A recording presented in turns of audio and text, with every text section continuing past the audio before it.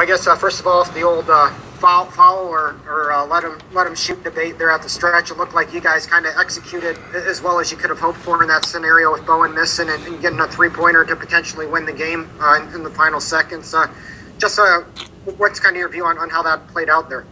Yeah, they you know for for something that um, that is hard to have the ball bounce the right way and just have it all go that way. So you end up with the ball back and, and a decent look at the basket, right? That's that's a uh, um, you know executed well by Bowen on the free throw line and and then chasing it down and he got it off clean. You know when it when it left his hand, I didn't know because he had uh, Henry was on his on his right side.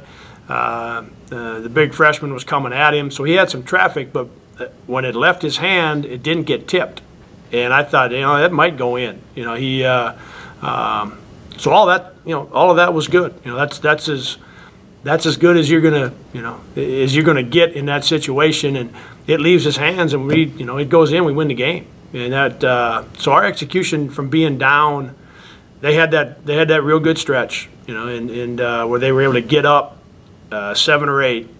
Um, our execution with everything down that last kind of three minutes, guys, we had the ball in our hands and we had a three-point shot in the air to, to beat them. So I thought, you know, guys hung tough and executed well. How did you feel Bowen kind of managed the game, especially that, that final minute for a freshman point guard? It looked like, you know, he did what he needed to to, to put you in a position there. Yeah, the, you know, the one he got the layup on, Nick, is is uh, is set up to, to get a three in that opposite corner. Um, we, we, we talked about it today at shoot around and, and talked about the options and time and score a little bit. And um, he made a great read, you know, to, to not, he had the advantage and he knew he could get that layup instead of thinking, oh man, I'm supposed to throw it to the corner. He took that too, and that was a terrific decision, terrific read on his part to, to get that one. Then that extends the game for us, right? Then, then there's, you know, somewhere in there, if we get a steal or something funny happens on an inbounds or they miss a free throw or two, like that, that, uh, that was a good play. And then obviously the last one we talked about, um, and I thought he had a good night tonight. You know, they, they got up and, and, pressured him. They made it hard for him. Uh, he handled himself well.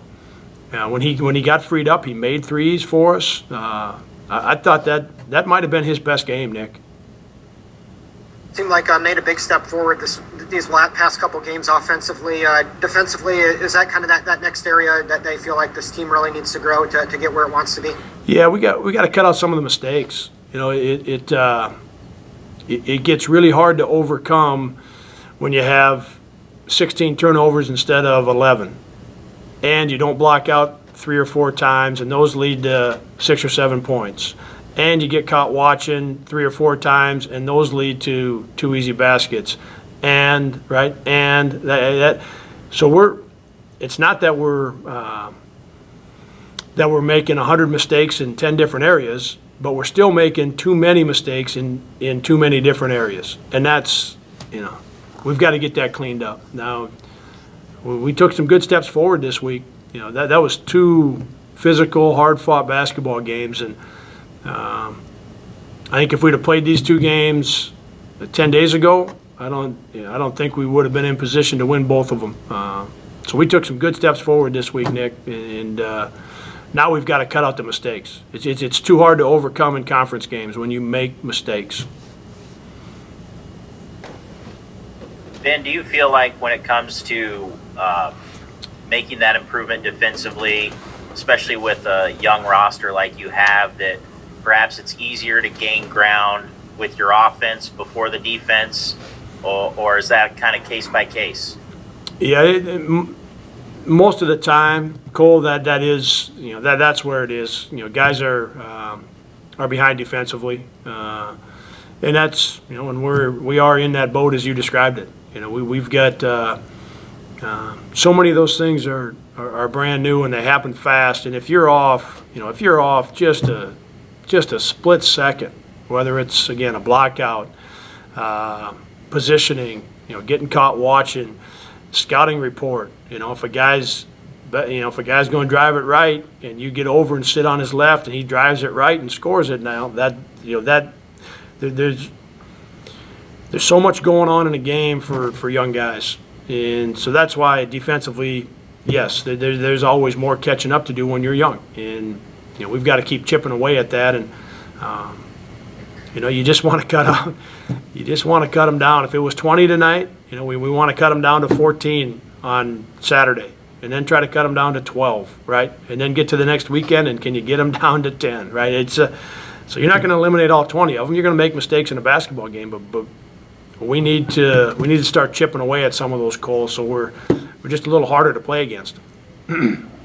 Thanks, Ben. Yep, thank you. Coach, um, looking at Bradley's offensive attack, their guards were shut down tonight, but their front court players had a really nice game.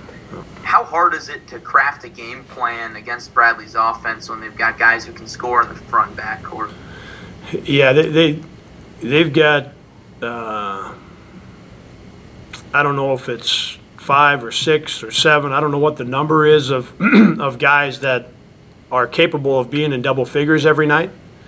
You know, it doesn't mean that all seven of them have to be in double figures, but it's it's you know it's a nice it's a nice luxury when you've got whether it's six or seven or eight, whatever the number Bradley feels it is. You know, I know it's above five. When you've got that many guys that can that can get to double figures in a in any given game, right? So maybe four or five of them one game, and then two of those guys, but three other guys, right? They've got that kind of that kind of roster, and um, that is that, that's hard to play against. And, and tonight, um, you know, Childs is going to be good every night. Uh, Henry was better tonight than he was yesterday. Uh, got himself to the rim, and it was physical, and got some baskets that were important. And then the you know then the big kid had that good stretch. You know, he didn't score a lot during the course of the game, and he and he hits three threes in a short stretch, which gives him the you know the one bigger lead of the really the the 80 minutes. Right, neither game got to eight or nine like that stretch did. So uh, those guys, you know, they did a good job tonight. They, they made some shots or made some plays when they had to make them. Thanks, Coach. Yeah, you bet.